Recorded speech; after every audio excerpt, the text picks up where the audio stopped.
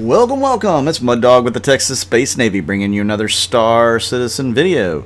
And as you can see, we are going to take another look at the Origin M50.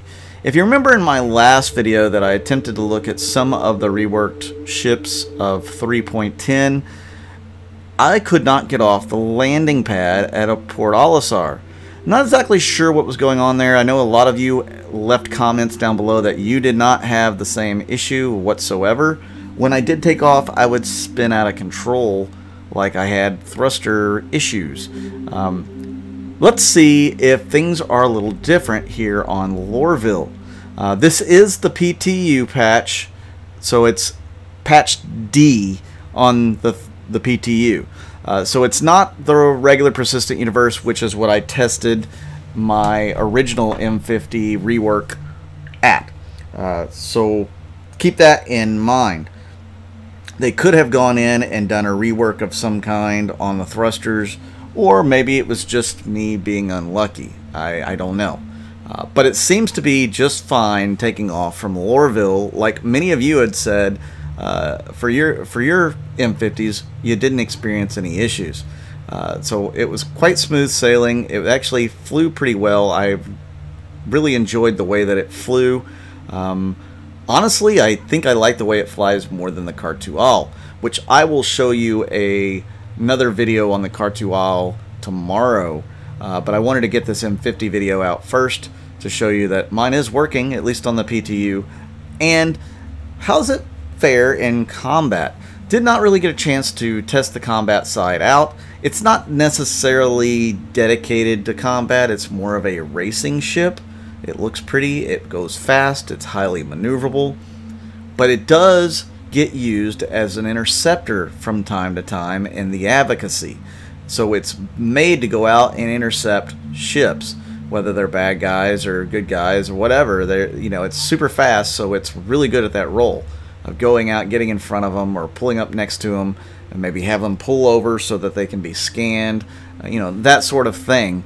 Uh, then they call in the troops if you know, combat ensues because you're probably not going to want to fight too much in a little bitty racing ship like this one.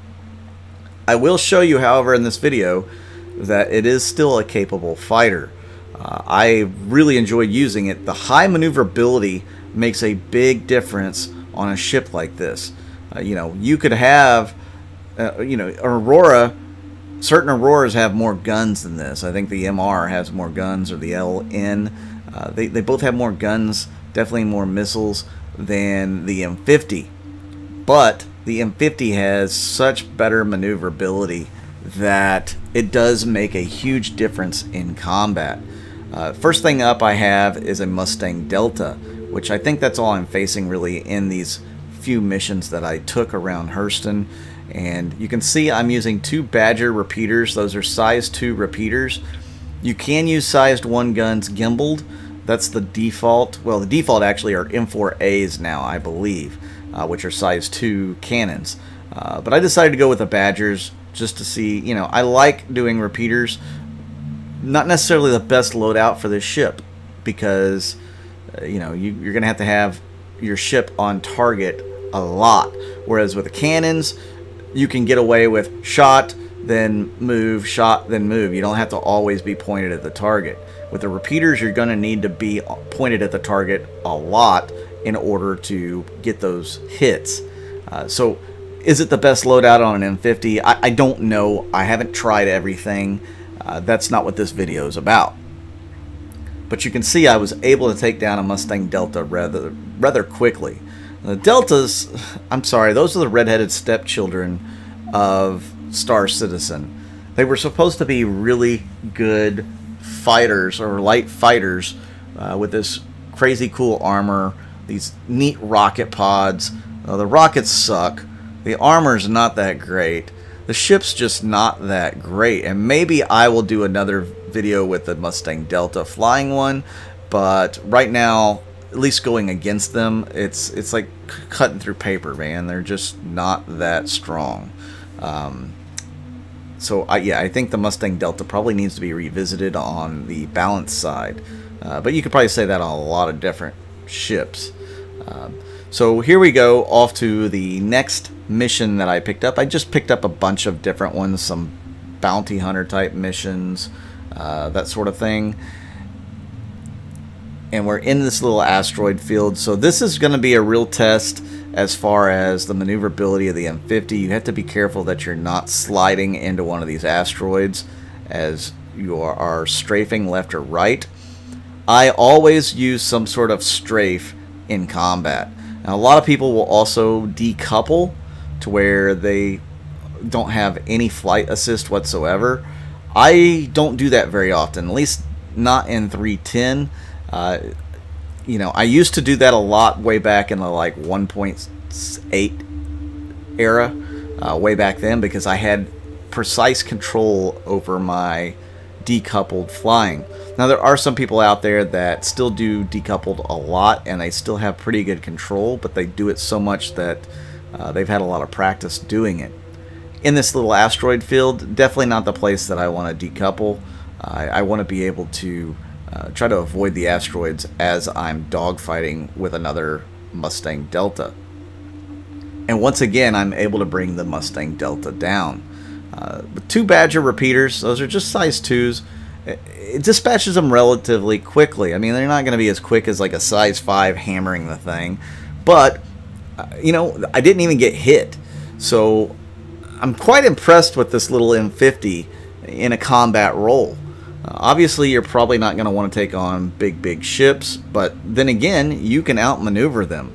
Uh, you'll see in tomorrow's video with the Khartu-al how I'm able to outmaneuver Constellation Andromedas uh, with no problem. I mean, obviously the Andromeda's a bus, uh, but uh, they're even firing, you know, their turrets and stuff at me, and I was able to quite easily avoid uh, a lot of those shots.